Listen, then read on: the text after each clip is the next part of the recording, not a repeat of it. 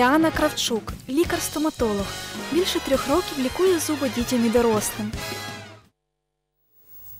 Доброго вам ранку. Доброго ранку. Сьогодні у нас така тема делікатна. Хтось навпаки хизується брекетами, а хтось навпаки дуже соромиться. Зазвичай, кому взагалі потрібно ставити ці брекети?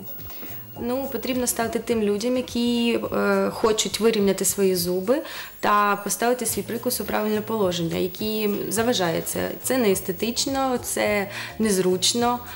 Е, ну, в принципі, так. Чому власне розвивається цей неправильний привкус? Можемо ми самі якось зарадити цьому? С- Саме с- э, Неправильный получается, прикус, да? да, самая, самая распространенная, скажем так, э, ситуация, из-за которой это генетическая, она передается по наследству.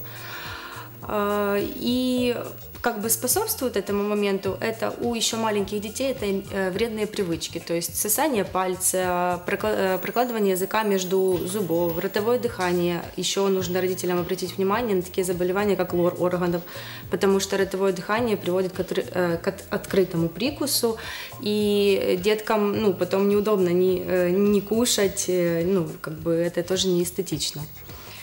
Э, Ну, в принципе, по в основном, да, это с детства начинается, и как бы А коли можна перші брекети поставити? Бо знаю, що багато дітей страждає цим, що неправильно ростуть зуби, і батьки вже задумуються, коли ж все ж таки можна. Є ті, хто пере- переросли, кому вже 20, 30, 40 років, у них е, не, скажімо так, неправильний привкус, так, але все ж таки вже думаю, що вже запізно, наприклад. А, Ну, начинаем мы лечение обычно у деток, если уже видим патологию э, заранее, то где-то ориентируясь с 5 лет. Сначала это не брекет-система, это съемная аппаратура, это пластинки, это миотрейнеры и Тобто таке підготовче. Так? да, это как подготовка.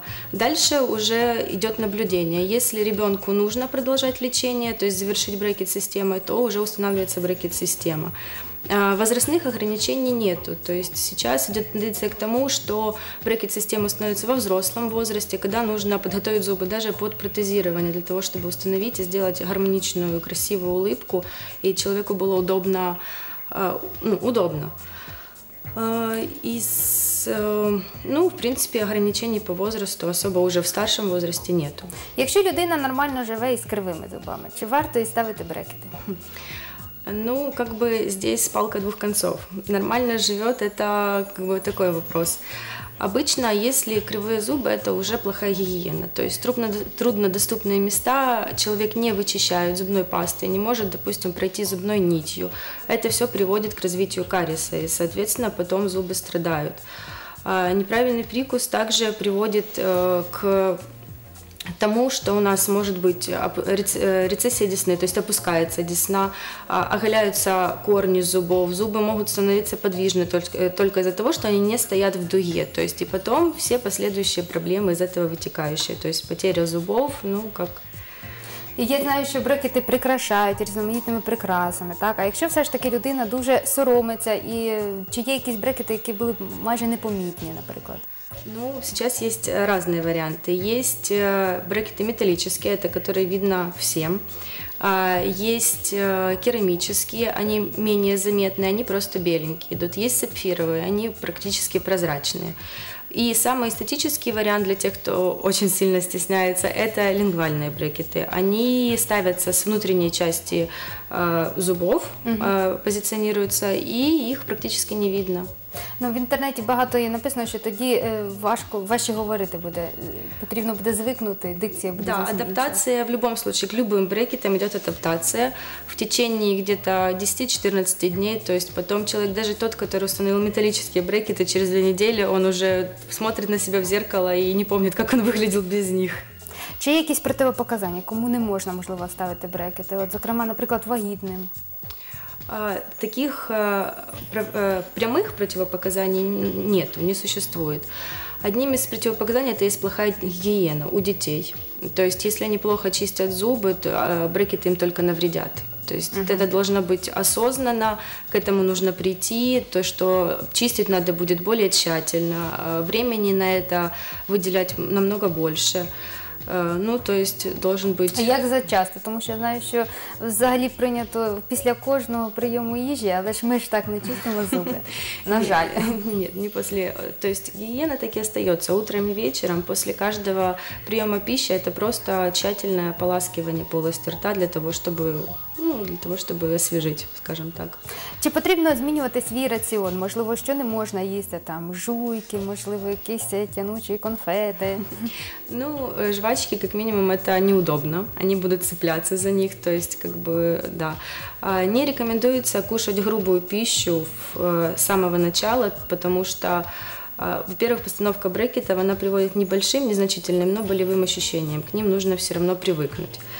А, Но э, такие моменты, как сухарики, ну то есть твердая пища в первые дни нежелательно. Да и в принципе потом, для того, чтобы не сколоть, для того, чтобы не отклеить брекет, ну в принципе вот так вот. Чи можуть вони нашкодити там, е, зіпсувати зубну емаль, можливо, розвинути карієс? Все зависит от пациента. Если пациент осознанный, если он подходит а, ответственно к этому моменту, то все будет хорошо. Если это будет постоянно тщательная гигиена, никаких осложнений не будет. Скільки часу потрібно ходити цими з брекетами? А, Это все индивидуально. То есть для Ну, каждого от пациента... мінімально для того, щоб побачити якийсь результат. А, Бывает такое, что уже через месяц результат пациенты видят, они очень довольны этим, но как минимум где-то год. То есть так вот. Е, Чи зал- залишаються сліди від брекетів на зубах після того, як знімають їх? М, Нет, не остаются. Тоже то- это в принципе то, что я уже говорила. Все зависит. Если была хорошая гигиена, то никаких следов не остается. То також є побоювання, що буде емаль там, де от кріпилися брекети, більш світла або навпаки більш темна. Нет, такого Тобто не це бывает. більше забобони все ж таки. Так. Е, Чи здатний от пірсинг пошкодити брекети? Бо зараз дуже модно е, т- Да. такі прикраси.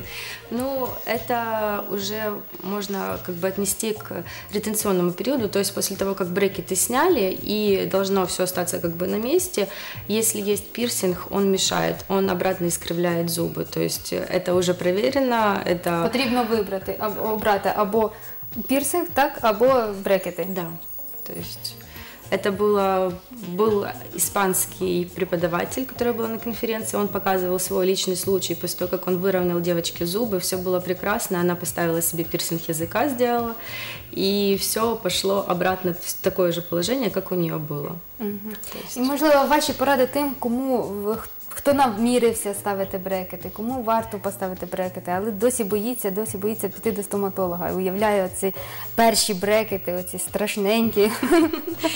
Ну, э, вони не страшненькі.